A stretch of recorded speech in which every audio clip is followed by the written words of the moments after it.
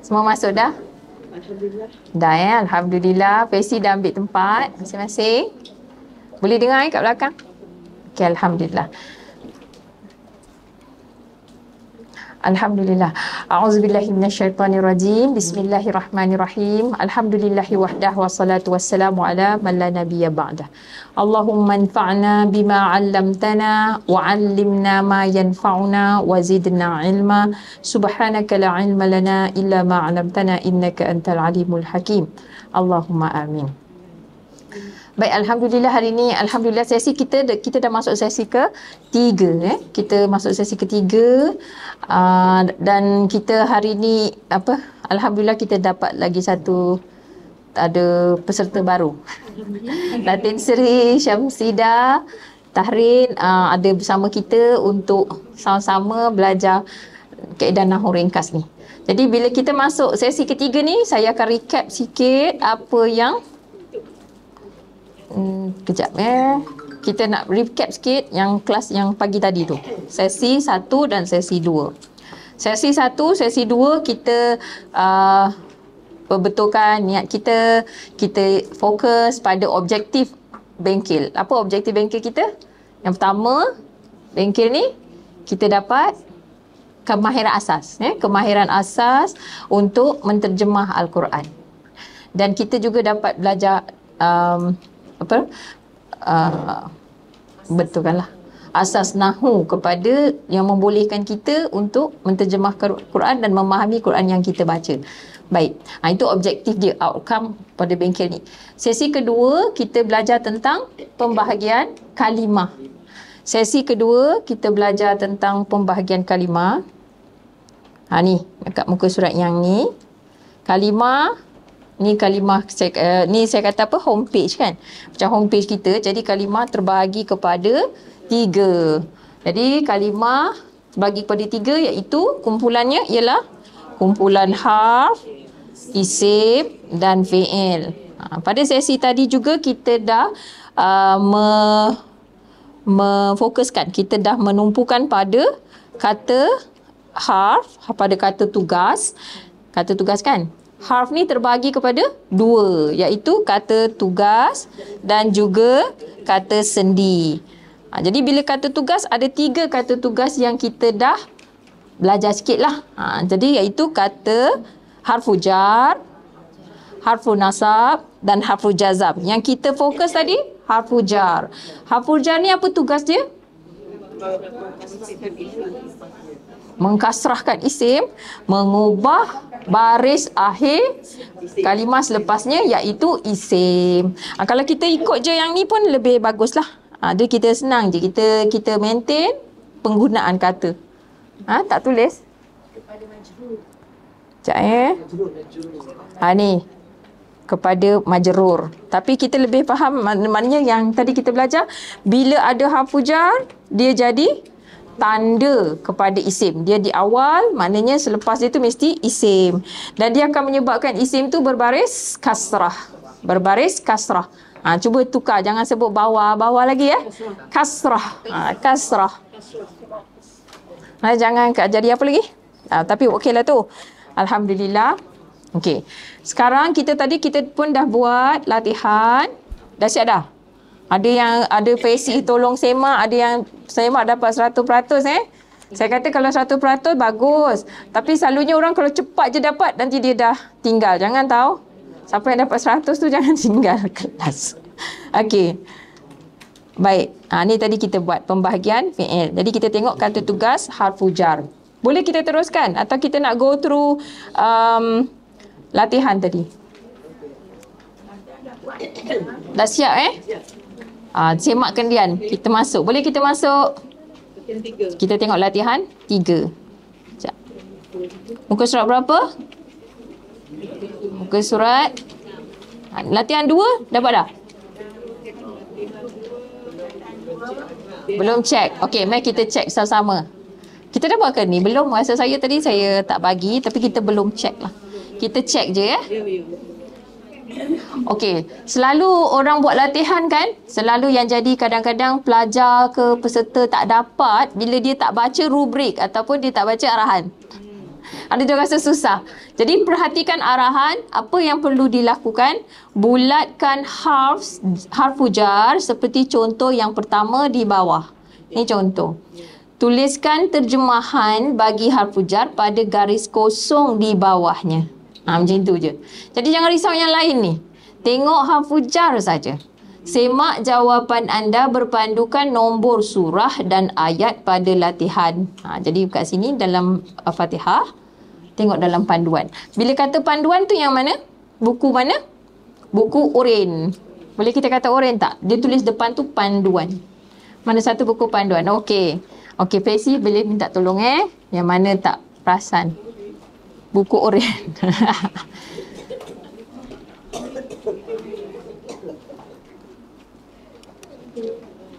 Boleh. Okey, kita cuba ni macam sensitif. Dah dengar tak? Tak eh? Hilang pula dah.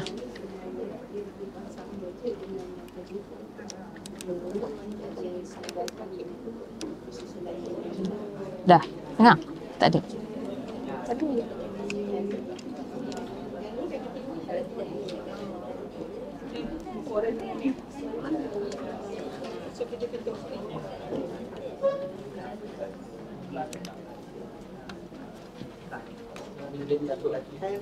Ada bateri saya.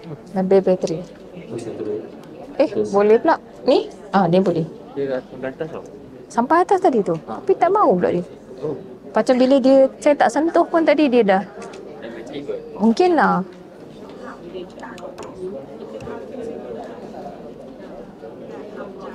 Okey, cuba kita tengok bahagian yang kedua tu. Fihi hudal lil muttaqin. Jadi mana dia harfu jar? Fi. Terjemahkan? Di dalam. Ha. Pada, kalau ni sesuai pada ke di dalam?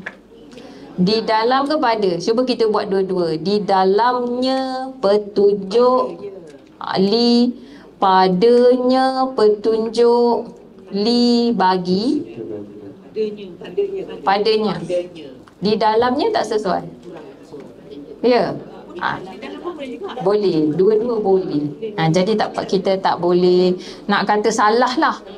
Eh kita kata kalau siapa se- dia buat jawapan tu dua-dua di dalam pun betul. Ha, dia kata dalam pun betul. Dalam sorry. Dalam ataupun di betul. Tapi pada sesuai tak sesuai lah.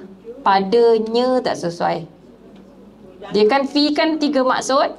Yang dalam sesuai, di sesuai. Tapi kalau pada kurang sesuai.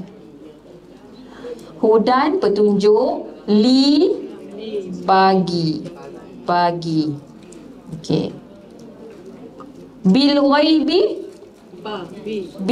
Okey, harf hujannya B. Terjemahkan dengan kepada.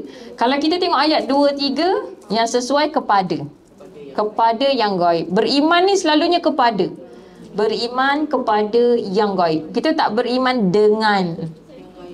Ha, macam kita beriman tu percaya. Percaya dengan kurang tepat. Betul tak uh, Puan Zawiyah? Kalau dengan bermaksud kita dan Allah tu sama-sama. Ah, jadi beriman tu bukan dengan lah tak sesuai. Kita macam kita beriman bersama Allah, tak kenalah. Jadi kepada Allah. Beriman kepada yang gaib. Jadi kat situlah pilihan yang tadi awal tadi kita buat kan? Ha, ada B, ada maksud dengan, ada maksud kepada. Ada tak maksud lain bagi B? Ada. Tapi buat masa ni kita cuma belajar dua terjemahan saja. Ha, jangan bebankan diri dengan terjemahan yang lain.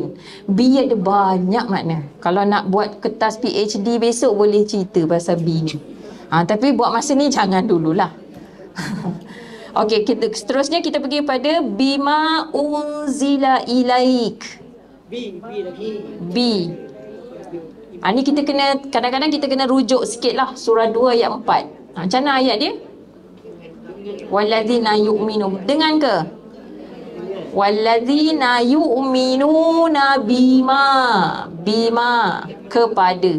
Kasar beriman, kepada. Kalau perkataan sebelum tu beriman, lebih sesuai bi kepada. Tapi at this point katakan kita mengajar orang kalau dia letak dua ke janganlah macam kita keras sangat kata oh salah. Dia bukan salah, kurang tepat. Itu je eh. Jangan jangan sampai orang rasa beratnya, susahnya gitu. Ada je. Dah rasa dah? Allahu akbar. May Allah forgive me. Ha ah, raikan je dua-dua. Betul.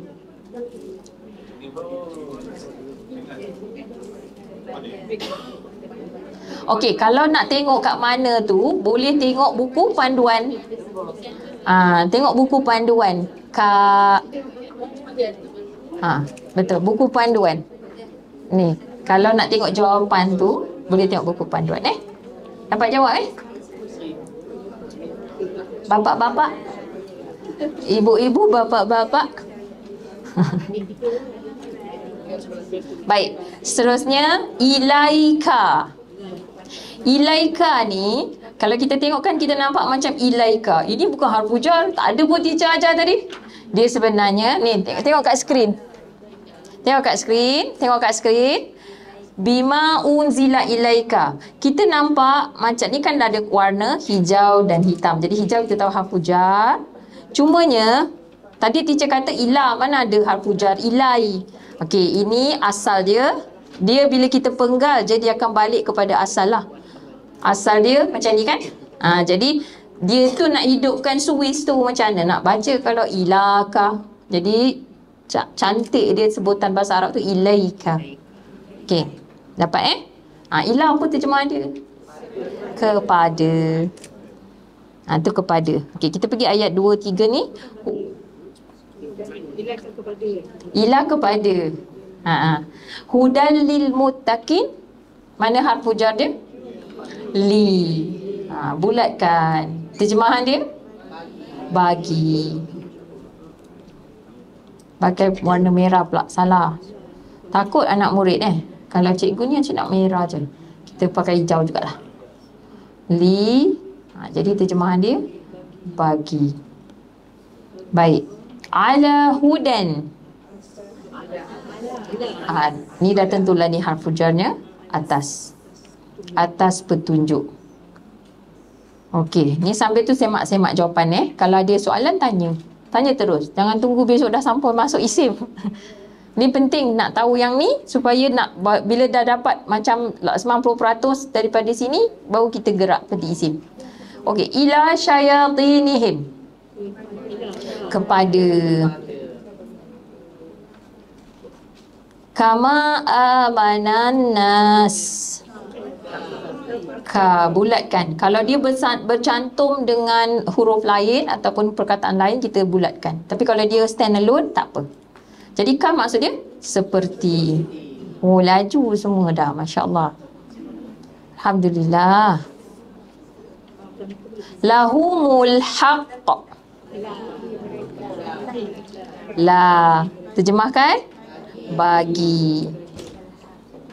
An ashabil jahim.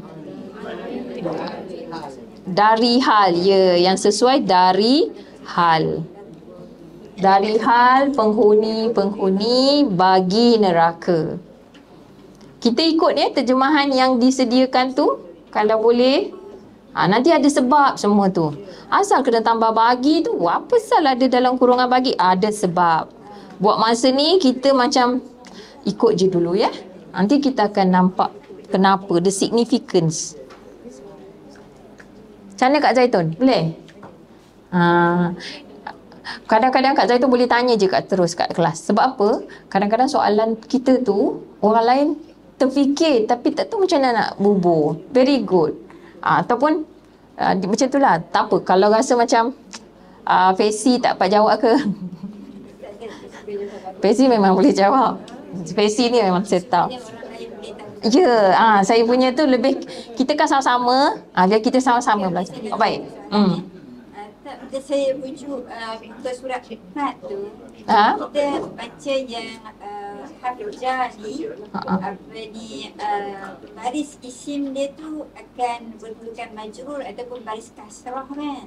Kalau baris kedudukan majrur Macam, betul. Uh, minallahi. Ya. Contoh tu min Mm. khairin. Ya. Uh, tapi bila muka surat 6 ni saya lihat setengahnya tu tidak dengan bar- baris kasrah. Uh, Dia dengan baris apa? uh, macam uh, kama uh, sebab dia Ada sebab dia. Ha, nanti dulu. Sekarang kita punya objektif. Objektif lat- latihan ni apa? Bagus soalan tu. Maknanya kalau orang yang tanya soalan tu, jang, bila ada peserta ataupun pelajar kita tanya soalan tu, jangan kita rasa macam, hey, termarah pula. Kalau kita tak tahu, kita marah tu lagi tak patut lah kan. Tapi maknanya, maknanya kita kata kat dia KIV. Sebab apa benda tu akan ada penjelasan dia. Ha, jadi kalau ada macam tu soalan tu kita simpan dulu. Kenapa? Objektif kita buat dulu objektif latihan ni. Apa objektif latihan? Untuk kenal hafujar dan juga tuliskan terjemahan. Boleh terjemah hafujar, boleh kenal hafujar, terbaik ha, untuk latihan ni. Tapi soalan tu, okey, kita simpan. Maknanya, otak kita tu dah start tu. La'alakum ta'akilun tu dah start. Alhamdulillah. Ha, Alhamdulillah. Very good. Ada soalan? Sila. Ha, kalau rasa, kalau dah boleh jawab, okey, saya jawab. Kalau belum, kita akan, nanti kita jumpa.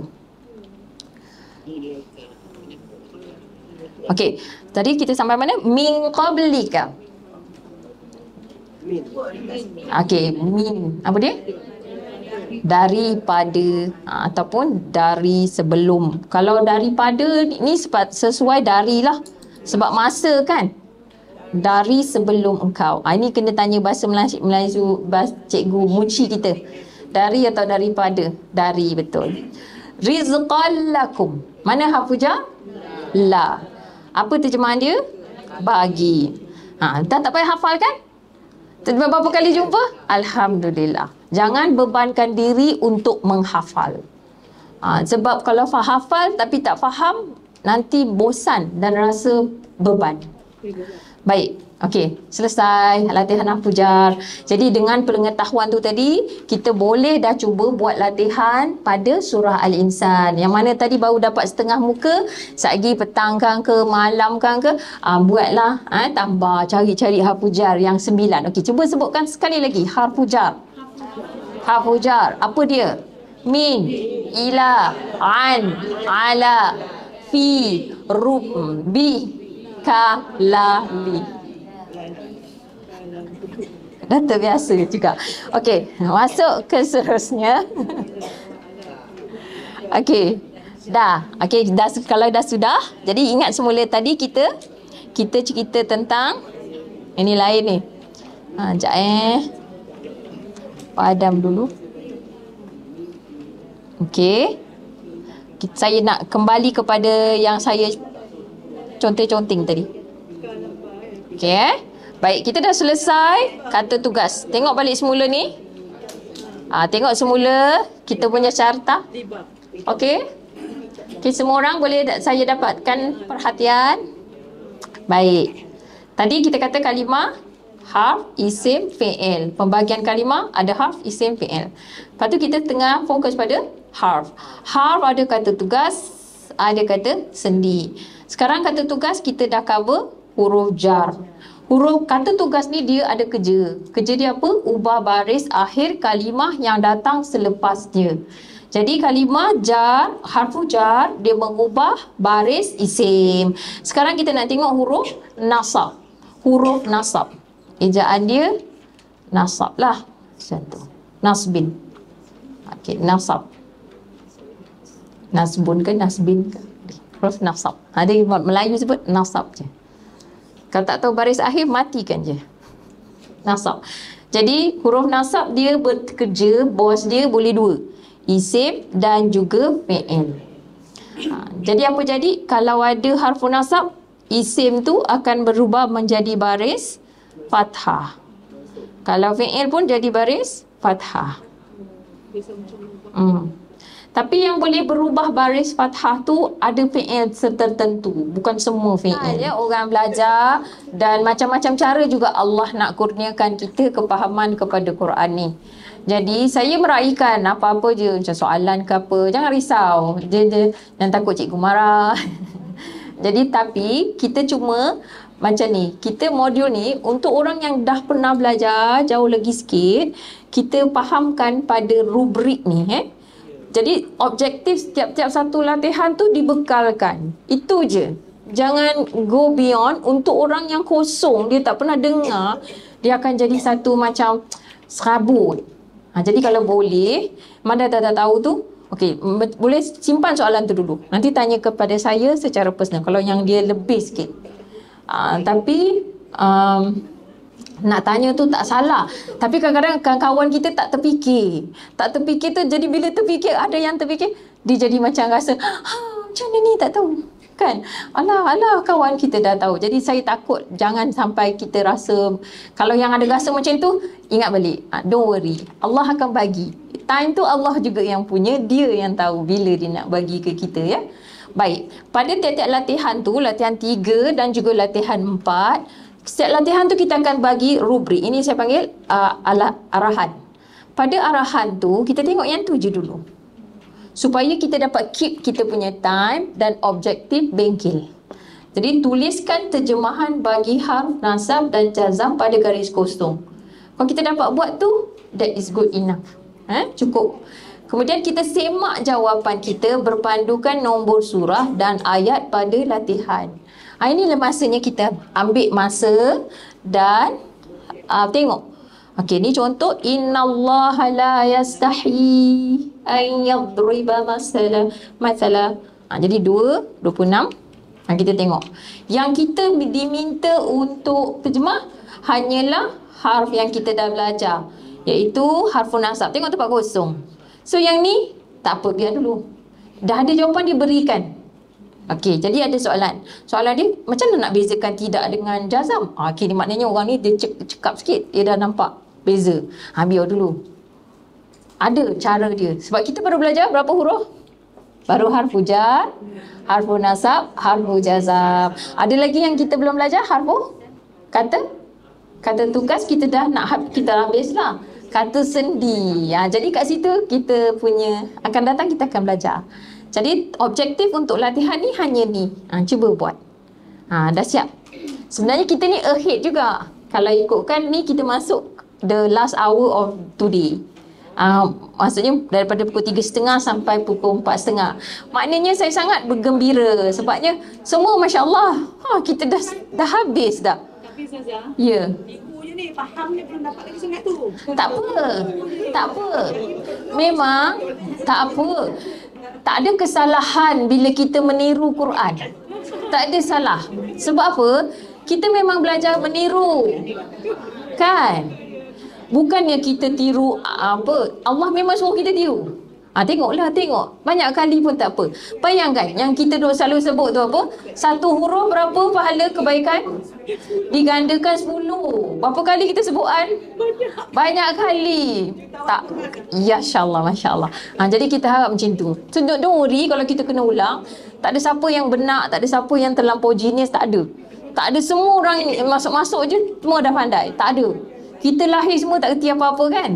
Allah sebut dalam surah 16 ayat 78. Kamu ni semua lahir Allah keluarkan daripada perut-perut ibu kamu dalam keadaan la ya'lamuna syai'an. La ta'lamuna syai'an. Kamu tak tahu sikit pun. Ha, jadi kita dapat tahu hari ni sujud syukur. Balik kan sujud syukur. Alhamdulillah. Eh? Pesan, pesan guru saya. Ha.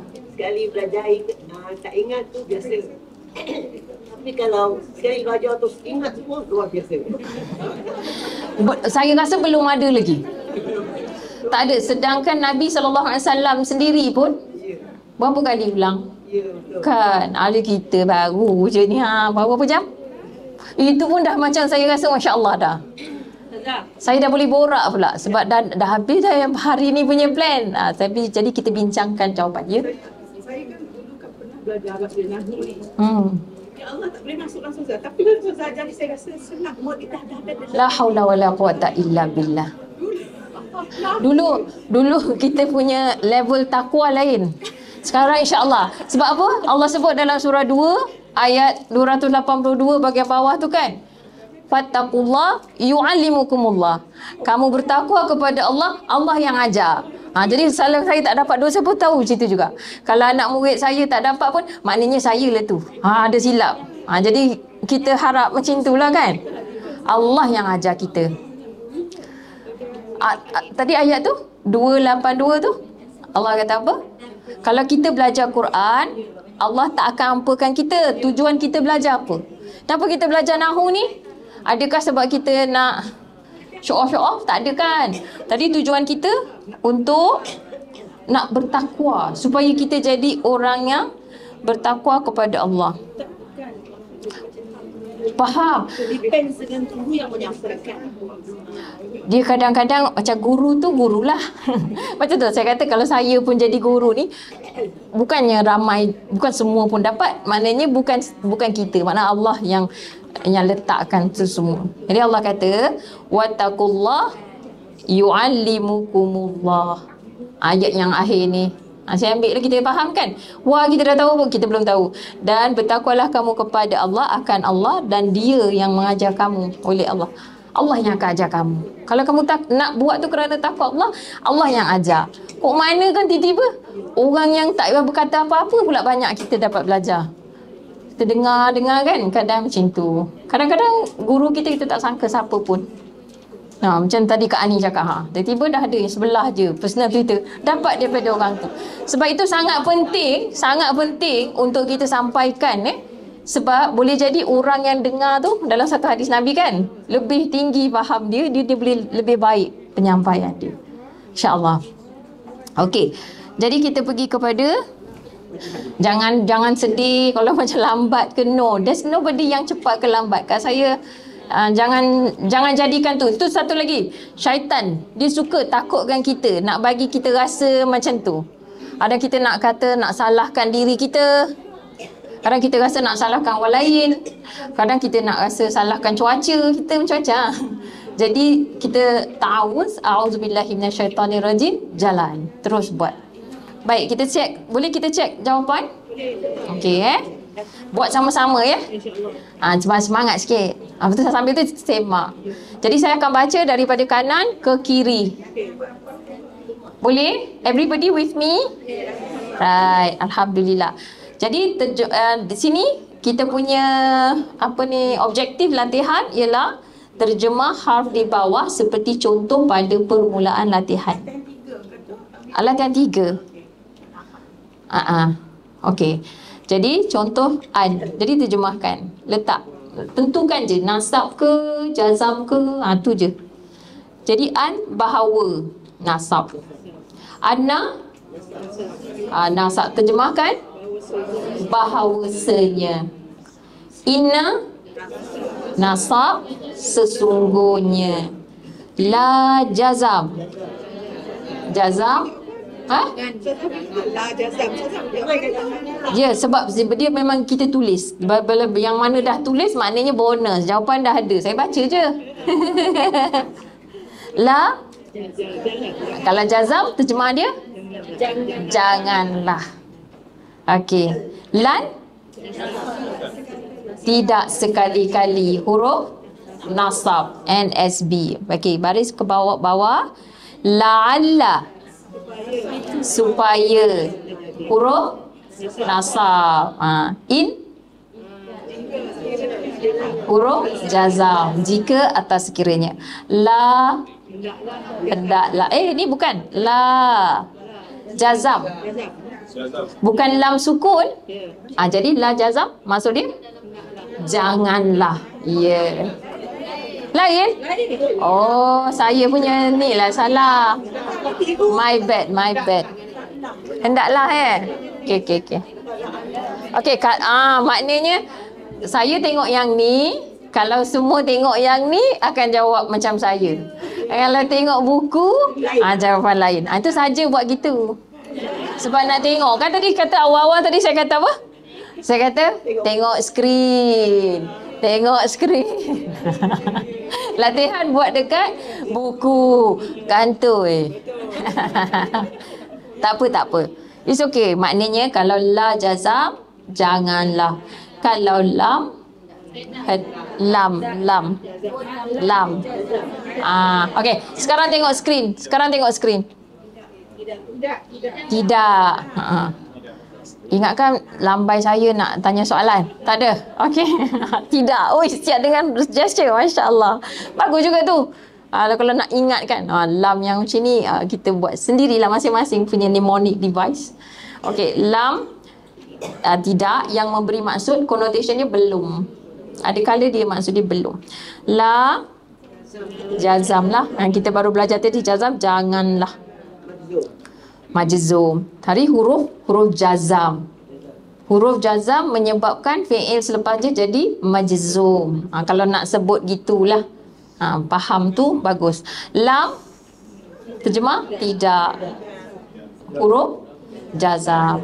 Ha, ni pun dah tahulah la. Tengok skrin eh skrin. La malif la janganlah. Ya. Macam huruf jazam lan tidak sekali-kali. Uh, nasab. Lan nasab. Ha, jadi kita tulis kat bawah tu nasab. In jika. Ha, ni huruf jazam. La'alla supaya. Huruf nasab. In inna huruf nasab sesungguhnya. Lam tidak huruf jazam. Anna bahawasanya huruf nasab. Tak apa kalau tak ingat macam kat eh salah pula. Tengok je balik jawapan. Eh? Lan tidak sekali-kali huruf nasab. Lam tidak jazam. Bagus. La jazam janganlah. An tidak sekali-kali. In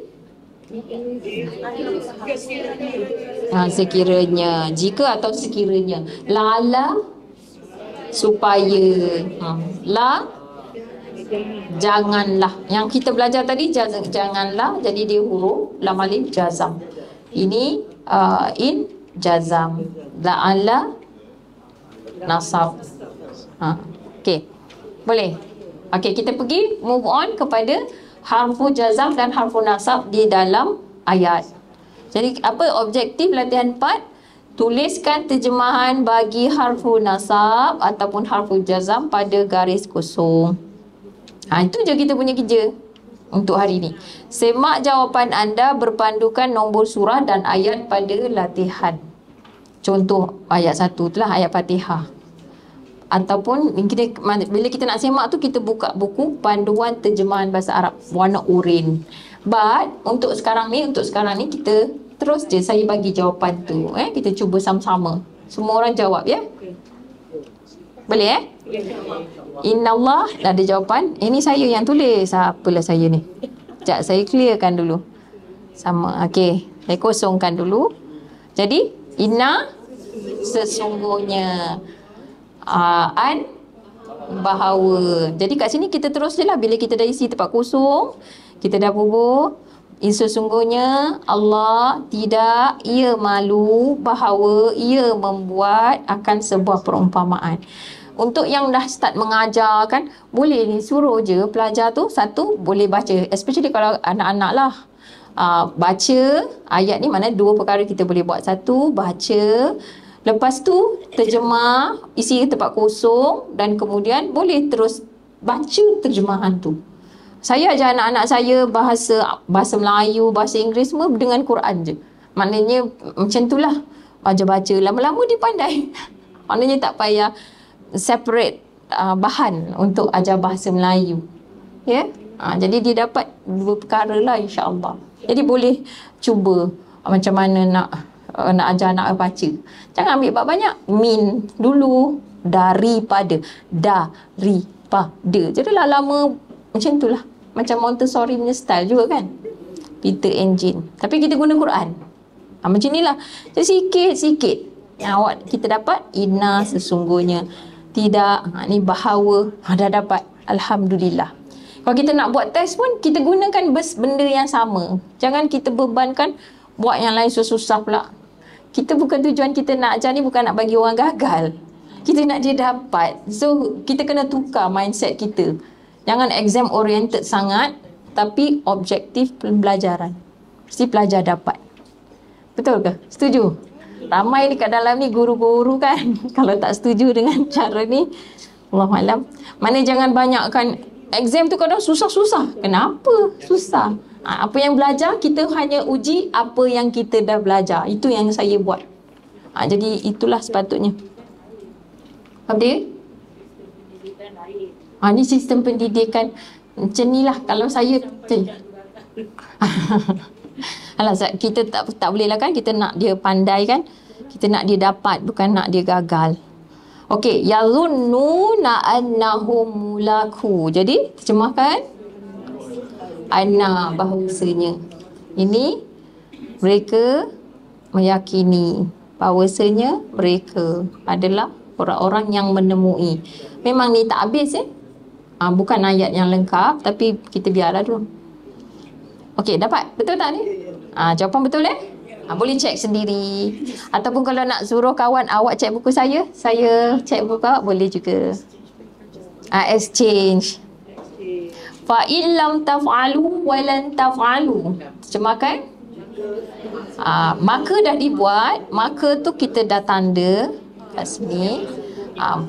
Jadi maka in bukan inna, in jika ha, maka jika ataupun sekiranya lam tidak taf'alu baca terus kamu melakukan wa dah diberi jawapan la tidak sekali-kali yang tu je hmm yang fikir jangan jangan fikir over, over jangan don't overthink ha? jangan fikir over yang ni je sikit sikit lama-lama jadi Okay.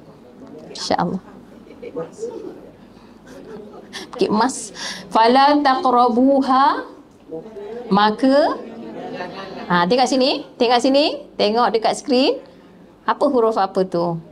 Jazam. Jadi terjemahan dia? Janganlah. Ha, siapa cakap tidak tu kita belum belajar lagi. Kan? Ha, jangan jangan cakap tidak lah. Kita baru belajar lam jazam. Bila jazam? Lam alif jazam. Terjemahan dia? janganlah ha gitu ha ni hari ni kita berapa kita dah boleh start dah berapa kalimah harf yang kita dah pelajari jangan risau nak menghafal faham dia punya fungsi in kuntum sadiqin jaza jika baik kemudian uh, qala innahu yaqulu innaha baqarah Inna. Okey, nampak? Perhatikan. Um, kita tak penggal dengan macam ni tapi kita dah siap penggal dengan warna. Jadi ni pun, ha, inilah dia. Nasab sesungguhnya. Inna sesungguhnya juga. Ha. Okey. Ada soalan? Setakat ni tak ada eh? Boleh? Okey. Zalika bi anna Allah nazzala al-kitaba bil haqq. Itu dengan anna. Ini ada dua huruf. Bahawasanya Allah Allah nazzala telah menurunkan oleh ia al-kitaba akan kitab dengan kebenaran. Ha, ini lam yang tadi tu, lam sukun. Lam sukun terjemahan dia? Hendaklah. Ha, dia selalu datang together dengan tu lah. Fa. Dia selalu datang dengan fa. Ha, maksud maka. Dah ditulis itu maka. Jadi kita pun dah boleh nampak lah. Maka hendaklah mereka memenuhi atau mereka mem, me, menjawab Li, ha, ni kita dah tahu li ada dua bagi. Ha, jawapan pun dah ada huruf apa tu? Huruf jar. Wa dan ha, lam sukun. Hendaklah. Ini kalau nak tulis short form pun boleh. Tak semestinya nak tulis penuh-penuh. Asalkan kita faham apa yang kita tulis sudah lah. Cikgu kita faham apa yang kita tulis cukup lah. Ha, dia tak payah salah eja pun nak kena cubit ke apa tak apa tak payah kalau ada fancy buat macam tu bagi tahu saya it saya tak bagi dia. Ha, jangan garang-garang eh. Peserta saya. ha? Okey, B kepada ku. La'alla supaya Ha, jadi kita nampak ni bolehlah kita letak, "Oi ni saya dah belajar, saya dah belajar, saya dah belajar." Ye, tak letak. Jar alhamdulillah. Boleh. Ya studun mereka mendapat bimbingan. Okey, ada soalan? Tak ada. Jadi ada latihan lagi ke? Ada ke latihan lain? Ha, ini latihan, ha, lepas tu baru masuk kata sendi. Nak teruskan hari ni atau ini tangguh besok? Esok lah, okey. Dah berasap dah? Ke? Dah berasap dah? Esok eh? Okey. Jadi kita ada sedikit masa lagi, lagi setengah jam. Kalau tak ada soalan mengenai Nahu ni, saya nak tambah sikit, boleh ke? Yang tadi saya kata di akhir, uh, di akhir nanti saya nak, saya nak apa nama? Nak tadabur sikit tentang doa yang saya baca tadi, betul? Okey, sikit je supaya kita ni besok kita datang with renewed energy, renewed strength and renewed motivation ya insyaAllah. Jadi doa kita ni, doa ni daripada satu hadis Nabi SAW. Allah nampak? Fa'ni. Allahumma fa'ni bima 'allamtani.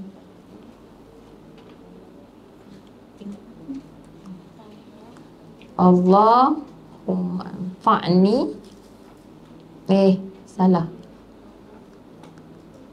Allahumma fa'ni bima 'allamtani wa 'allimni Ha macam yang gini alamat kena betulkan balik sekejap sekejap. Buruk ya. Saya tulis molek-molek sikit. Syekh syekh bismillah. Bismillah. Tak apa je. Tak apa. Kak Ani menegur bagus bagus bagus. Cakap je. Boleh? Better?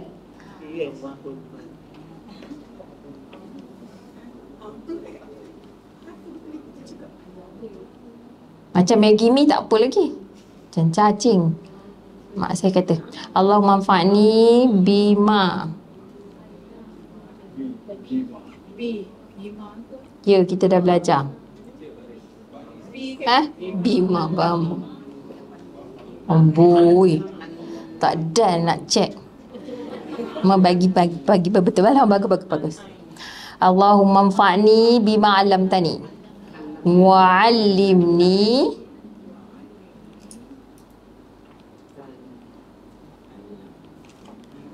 ma yanfa'uni. Bagi Chan lah kat teacher ni pun. Wazidni Sekejap eh. Wazidni ilman. Okey. Yanfa'uni. Okey. Allahumma anfa'ni bima 'allamtani wa 'allimni ma yanfa'uni wa zidni ilma. Jadi maksud doa ni ialah Allahumma ya Allah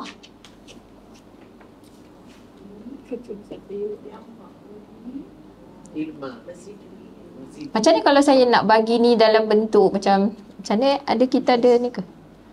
Maksudnya saya boleh email ada masuk dalam grup. Oh. macam-macam. Praktis dia tulis. Ah boleh. Nak ya? Ah nanti ah tak tahu lagi. Okey. Okey, Al- ya Allah. Dia pendek je ni tapi dia punya terjemah dia. Mudahkanlah aku mengambil manfaat. Banyak tu. Mudah. Sekejap. Nampak ke? Hmm, boleh je nak cakap manfaatkan tu bukan tak boleh tapi dia punya the reason why eh. Sekejap. Mudahkanlah aku mengambil manfaat. manfaat B ha, B apa? dengan yang yang dah tahu tadi tak terjemah apa ma apa yang alam ta ni telah mengajar oleh engkau? Oleh engkau. Nanti saya tulis mulik-mulik baru saya hantar dalam grup. Akan daku. Akan aku. Tak apa Nak crop bagi bawah sikit ke? tak apa thank you.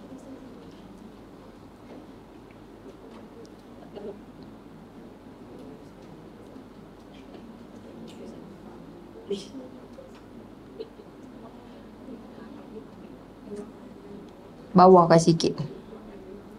Okey. Tak nampak mengambil manfaat dan kalau saya penggal dan dan ajarkanlah engkau oleh engkau akan daku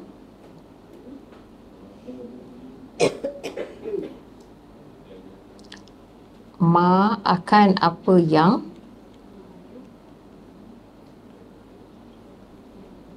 ia bermanfaat buat diriku. Buat akan aku.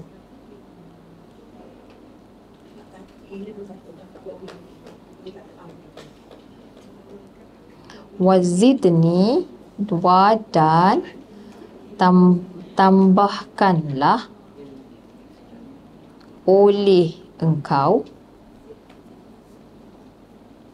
akan aku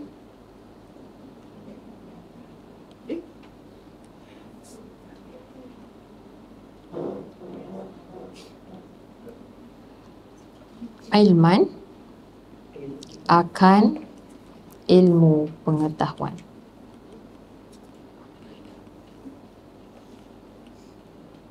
Okey. Baik. Doa ni nanti boleh hafalkan. Doa ni saya bagi kepada tiga bahagian. Doa ni tiga bahagian.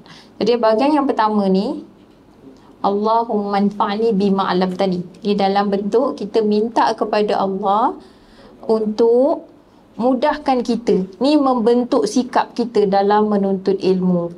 Iaitu apa sahaja yang Allah pernah ajarkan kita sebelum ni. Mana yang sudah-sudah tu kita jangan mencemooh, jangan mencela apa yang kita pernah Allah ajarkan kita. Semua tu daripada Allah. Dia juga yang aturkan, dia juga izinkan. Jadi kadang-kadang dulu macam rasa, oh lah dulu aku ni jahil, dulu aku ni belajar English je, aku ni macam tu. Tak, jangan, jangan fikir macam tu. Bahkan sekarang ni kita minta Allah, jadikan kita ni orang yang boleh berfikir dan dapat ambil yang baik daripada apa yang Allah ajarkan kita. Maknanya mudahkan kita. Sikap kita tu mudah mendengar, mudah untuk faham supaya kita dapat ambil pilih nak jadi select ha. Ha? Mana dia? Lagi? Atau lagi? Oh nak tulis. Okey. Tak apalah tak payah tulis. Lagi kan bagi. Ah, okay. Ah, ah. Ah, nanti kita bagi. Kalau mana tak dapat lagi kan saya tunjuk. Stay back sekejap. Ah, lepas tu jadinya Tu yang pertama tu sikap kita. Sikap kita ni kan macam-macam. Kadang-kadang kita rasa sombong dengan apa yang kita belajar dulu atau kita rasa rendah diri sangat dengan apa kita belajar dulu. Jadi kita minta kepada Allah sebelum kita belajar ni sikap kita tu Allah baiki sikap kita, uh, fikrah kita untuk berdepan dengan yang sudah-sudah yang yang dulu. Macam mana nak select? Mana satu yang kita paling bermanfaat untuk kita? Allah yang paling tahu. Kita pun tak tahu. Kadang-kadang kita duk kumpul buku-buku dulu tu kita ingat nanti aku nak pakai. Kadang-kadang tak pun. Jadi di situlah kita perlukan doa kita berdoa kepada Allah sebagai supaya Allah betulkan sikap kita dalam memilih dan mengambil yang paling bermanfaat untuk diri kita. Kan? Yang kedua ini pula dalam fi'il mudhari. Nanti kita akan belajar tentang fi'il. Sekarang. Jadi kita dari setiap dari kita ni umur berbeza, latar belakang berbeza, cara berbeza, upbringing berbeza kan. Jadi kita minta kepada Allah ajarkan kita yang paling bermanfaat buat diri kita sekarang. Ada orang umur dah banyak, ada orang umur baru sikit. Jadi apa yang bermanfaat sekarang? Yang mana bila kata ilmu yang bermanfaat tu bila kita mati pun besok dia pakai. Jadi kita orang yang bijaksana tu kan Nabi kata al-kayyisu mandana nafsahu wa amila lima ba'dal maut. Bijaksana itu ialah orang yang sentiasa menghitung dirinya dan bekerja untuk apa yang datang selepas matinya kan. Ah, Jadi kita yang tak tahu bila kita mati. Jadi sekarang kita doa kepada Allah supaya ajar kita yang kalau kita mati hari ni kita boleh bawa kita boleh bawa bila kita mati besok. Ha, itu orang bijaksana. Dia jangan jadi orang yang bijak sini. Ha, jadi bijak sana. Ha, jadi bijak sana dengan ilmu. Dan sekarang ni kita minta Allah tambahkan kepada kita ilmu pengetahuan. Ilmu, takrif ilmu pula apa dia? Apa dia yang dikatakan ilmu? Al-ilmu kata Imam Malik, al-ilmu ha, apa dia ilmu? Ni kata Imam Malik. Apa yang kita belajar? Oh, belum tentu lagi tu. Kalau salah takrif, salah definisi dah. Macam-macam kita belajar. Kata Imam Malik, al-ilmu ma qala Allah wa ma qala Rasul. Eh, Ini kata, bukan kata Imam Malik, ini kata Imam Syafi'i. Wa ma qala Rasul. Ha, apa yang Allah kata? Quran. Apa yang Nabi kata? Sunnah. Ha, sunnah as-sahih kan? Sunnah yang sahih. Qala Rasul. Wa ma qala Allah wa ma qala Rasul. Selain daripada itu nak kata Imam Syafi'i wa min si wa zalik qila wa qal. Maknanya selain daripada kata dua ni atau Allah dan Rasul cakap-cakap kosong je. Maknanya pendapat. Pendapat. Boleh diambil, boleh ditolak. Tapi ilmu ini. Asas tu itu. Kalau kata Imam Malik pula, al-ilmu ma'rifatullah. Apa dia ilmu? Mengenal Allah. Wa ma'rifatul Rasul.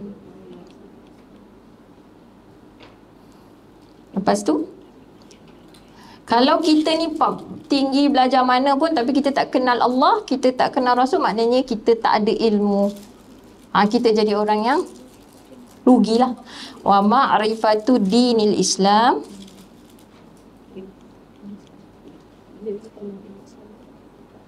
Kalau saya ada tersalah-salah um, eja ke apa ke saya mohonlah eh Ustaz Azatizah dalam ni bagi tahu saya kena diingatkan saya juga sebab apa? Saya latar belakang tu bukan Arabic. Ha, tapi ni belajar tu.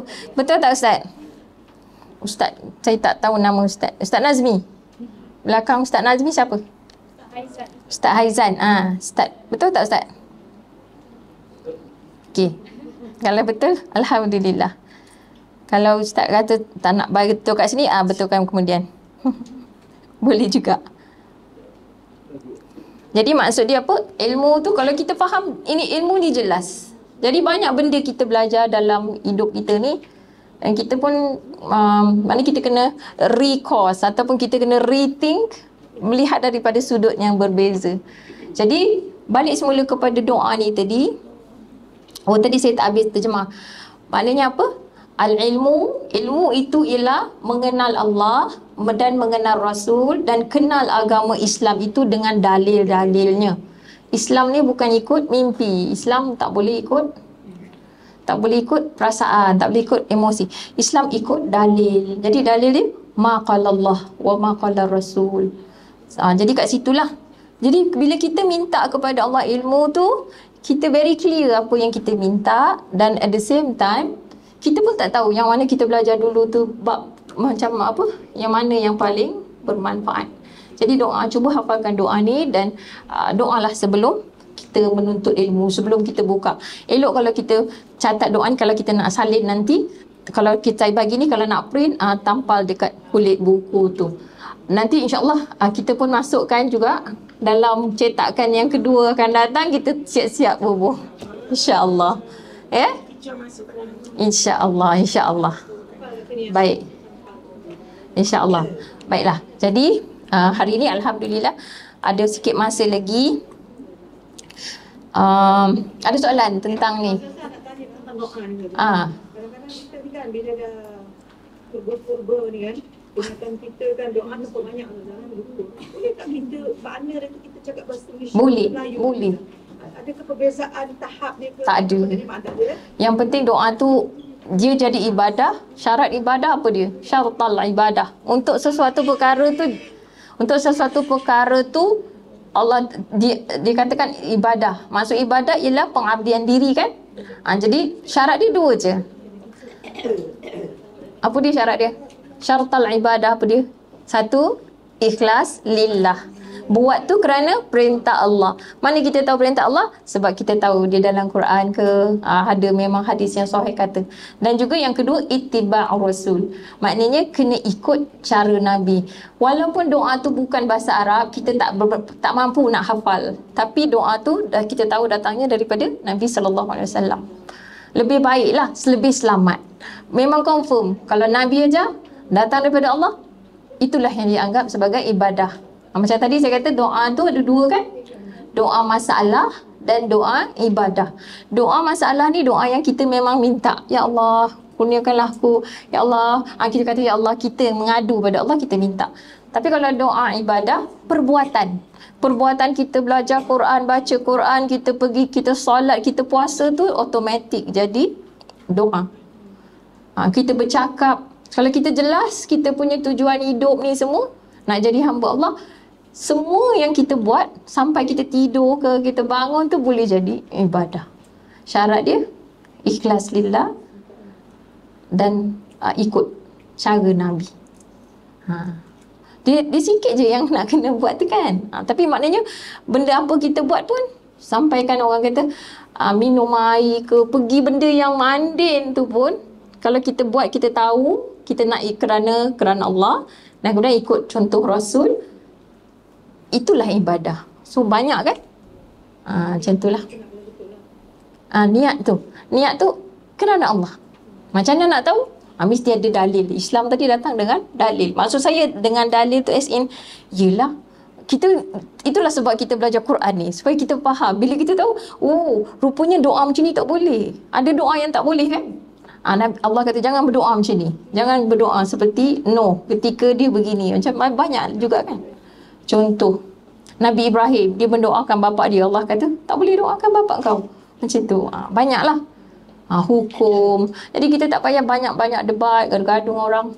Buat je. Ha, jadi kalau ada orang kata eh ni tak baguslah belajar terjemahan ni sebab ada eh. Ada yang akan cakap macam tu. Apa ni belajar terjemahan ni? Nanti gila. Apa pandai ni? Apa pandai-pandai? Ha, tu yang kita kita datangkan satu perkara yang macam ni kita tak pandai-pandai. Ha, ni sebagai satu saya nak apa saya terlupa nak cakap pada awal tadi ini bukan pandai-pandai. Maknanya yang i'rab ataupun yang bahagian, bahagian lapisan yang ketiga pada Quran ni macam dalam al-insan ni kan? Lapisan ketiga tu yang ni maksud saya. Ini adalah kita rujuk pada kitab-kitab Arab. Maknanya tengok-tengok dulu kitab-kitab yang lain. Bukannya macam teacher main letak je eh gitu. Tak ada. Ha, semakan tu dilakukan. Ha, itulah. Alhamdulillah macam saya nak kata suami saya pun tak ada background bahasa Arab. Tapi dia yang banyaknya membangunkan benda ni. Jadi knowledge tu. Dia tak ada background bahasa Arab sampai dia boleh buat macam ni. Maknanya biiznillah. Kalau kita ni nak buat tu tujuan tu insyaAllah. Allah bagi. Allah bagi. Kita bayangkan eh betapa ulama dulu yang buat buku tu buku tu kalau kita nak baca tu berapa tinggi tempat duduk ni ha. Kalau kena timpa buku tu mati kita. Betul, boleh lumpuh. Nata kepala, ha, terus stroke. Sebab apa? Itulah. Tapi dengan teknologi Allah berikan seseorang kepandaian mengakses kepada digital boleh um, pandai macam tu dengan ilmu Quran ni tadi yang sikit ni faham boleh akses kepada kitab-kitab yang banyak tu. Ha, jadi macam itulah. Jadi kita ni tak akan dapat sampai ke situ melainkan dengan Allah punya pe- petunjuk dan izin Allah. Kalau kita tengok dalam surah, kita ingat tujuan Quran ni diturunkan surah 14 ayat 1. Ha ni kita mesti kita tanamkan dalam hati kita pun begitu juga. Ha cuba. Cuba baca. Siapa nak baca ayat ni? Ayat yang mana sebelah? Surah, empat- surah 14 ayat 1. Nampak? Nampak? Oh, siapa yang dah belajar Taranum tu dengan Ustaz Tar, Ustaz Tir? Baca biasa. Baca. Ah, Baca. Saya Sim tak tolong Ustaz, Ustaz Aiman bacakan. Baca. Lontarkan suara dari sana pun boleh tapi kuat sikit lah. Boleh? Surah Ibrahim. Surah 14, surah Ibrahim.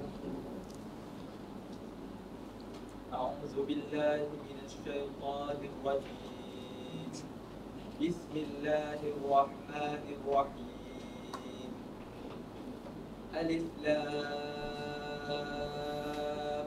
را. كتاب أنزلناه إليك لتخرج الناس من الظلمات إلى النور. من الظلمات إلى النور بإذن ربهم إلى صراط العزيز الحميد Okey, kita terjemahkan ayat ni. Kalau kita dah tahu haruf hujar, dah kita dah boleh nampak dah, kan? Ha, tak apa ni hari ni saya buat dulu. Nanti ujung kelas esok balik nanti buat untuk surah Al-Insan dan juga surah mana-mana yang kita baca. Boleh. Alif Lam Ra wa ma ya'lamu ta'wilahu illallah. Ini adalah sebuah kitab kami turunkannya kepada engkau supaya engkau mengeluarkan akan manusia dari kegelapan-kegelapan. Nanti kalau kita dah belajar terjemah, kita kena terjemah dia ba- berapa dua kena gandakan kegelapan-kegelapan. Signifikan dia manusia ni dalam kegelapan yang berlapis-lapis, eh, bertingkat-tingkat. Daripada kegelapan-kegelapan kepada cahaya itu. Cahaya satu. Pada cahaya betul dengan izin daripada Tuhan bagi mereka kepada jalan yang maha perkasa yang maha terpuji. Ha, jadi itu tujuan penurunan Quran ni nak keluarkan manusia ni daripada kegelapan yang berlapis-lapis. Kegelapan syirik kepada nur tauhid, kegelapan maksiat kepada cahaya taat. Ha, macam itulah banyak kan. Dengan izin Rabbihim ni maksud dia apa? Ah, dengan Allah izinkan tu maknanya ja- jalan yang dia suka, jalan yang diredai. Diredai, Allah suka. Jalan Allah tu ada. Jalan Allah mesti ikut jalan Rasul. Ha, itu je. Jadi kepada jalan yang maha perkasa lagi maha terpuji. Bila kita nampak tujuan Quran, ha, jadi insyaAllah ni sebagai satu motivasi lah untuk kita. Esok-esok ni kita datang, sepanjang kita bengkel ni, kita cuba uh, hayati doa ni. Kita minta Allah betulkan sikap kita. Tak ada orang lain yang boleh betulkan kita melainkan Allah. Kerana Allah yang maha tahu keadaan kita. Umur kita, uh, latar belakang kita macam saya kata tadi. Ha, jadi minta Allah betulkan sikap. Ni sikap kita dulu. Dan juga kita punya ke apa Allah yang jadi enabler kita untuk pilih pengetahuan yang mana yang kita nak bawa sekarang. Yang mana yang paling efektif. Yang mana paling berkesan. Kemudian kita minta Allah ajar kita sekarang ni yang paling bermanfaat. So kita tak tahu. Kadang-kadang kita ingat nak belajar taranum lah. Mungkin bukan untuk orang lain, probably itu untuk dia. Tapi untuk kita mungkin bukan lagi. Ha, ataupun kita nak belajar masak pula. Eh dah lah, kita dah apa kan. Atau belajar kadang kata fardu ain, fiqah lagi. Belajar lagi bab-bab fikun nisa, bab-bab haid. Tapi kita tak mengajar pun. Dan kita dah nak menopause pun. Ha eh, ah, dah lah kan. Ha, maknanya yang paling bermanfaat untuk kita apa? Ha, kalau kita nak ajarkan sesiapa.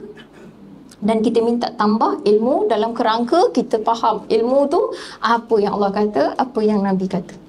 Baik. Okey. Ada soalan? Tak ada eh? Nak cepat je cik teacher ni ya. Berapa? Besok start pukul 9. Ah, harapnya jangan lambat sangat. Sarapan disediakan eh? Alhamdulillah. Jadi ah, kita kalau boleh saya nak start on time insya-Allah taala. Kita cuba ya. Baik. Jadi untuk hari ini berakhirlah sesi kita. Mana kita dah menjalani sesi 2, 3 uh, dan 4. Hmm. Tambahkanlah. Sorry Datin Sri. Maafkanlah hamba. Tulisan buruk sikit. Sekejap nanti saya tulis taik lelok. InsyaAllah. InsyaAllah, insyaAllah. Tambah.